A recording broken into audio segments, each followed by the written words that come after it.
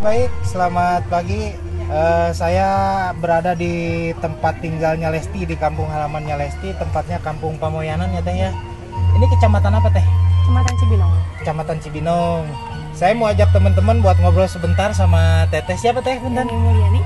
Yeni Mulyani. Teteh Yeni Mulyani. Ini kebetulan si Teteh Yeni ini jualan di depan rumahnya Lesti. Ada resepsi ya? Ya. Ah, ada resepsi. Ini resepsinya resepsi apa nih Teh? Pernikahan kan Pernikahan. Ya. Yang nikahnya siapanya Lesti nih? eh, anaknya dari bibinya dari Sepupunya Sepupu, mungkin ya, sepupu. sepupunya Lesti. Tapi Dede Lestinya hadir di sini ya? hadir hadir Sama Bang Bilar, ya sama BBL juga. hadir Udah dari kapan Dede Lesti ada di sini? dari kemarin kalau udah sama semalam juga kan jajan gitu Oh iya, semalam jajan Jajan, sini ke ya. Teteh. Dede Lestinya? Ya. Oh iya luar biasa ya. Eh, ini Teteh, kira-kira Dede Lesti ini sampai kapan ada di sini Teh? kurang tahu juga sih sebenarnya Oh gitu.